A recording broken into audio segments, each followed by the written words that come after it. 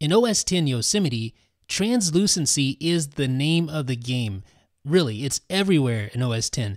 Notice the Safari toolbar. You see the iPhone uh, through the translucent toolbar at the top. And not only that, you can see the iPhone 6 silicone case. You can see the iPad Air smart cover. You see the blue and the yellow, translucent. Yes, you also see the 6 Plus leather case, the, the brown leather case. It's translucent. So anytime you scroll and the image is behind the toolbar, you'll see it kind of shine through a little bit. A nice subtle effect, not too uh, distracting, but just enough to give you some context.